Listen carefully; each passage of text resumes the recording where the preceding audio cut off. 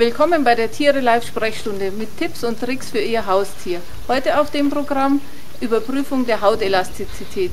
Ich bin Dr. Isa Voltin und das ist Icebreaker von Dinau, lebt in der Ketterie vom Saphirsee und ist ein wunderschöner heiliger Birmakater.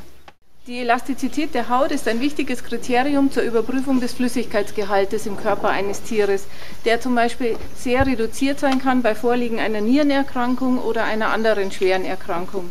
Die Hautelastizität, im Fachjargon Hautturgor genannt, lässt sich einfach überprüfen, indem man im Fell des Tieres, am besten hier am Rumpf, eine kleine Falte bildet und einfach hochzieht. Bei einem gesunden Tier wie bei unserem Icebreaker hier verstreicht die Falte sofort wieder.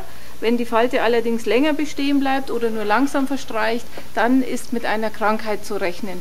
Verstreicht die Falte gar nicht mehr, sondern bleibt bestehen, dann ist Anlass gegeben für eine schwere Erkrankung und es sollte sofort ein Tierarzt aufgesucht werden, um den Flüssigkeitshaushalt im Körper des Tieres auszugleichen. Die Überprüfung der Hautelastizität können Sie übrigens nicht nur bei der Katze durchführen, sondern bei jedem Haustier und auch bei sich selbst.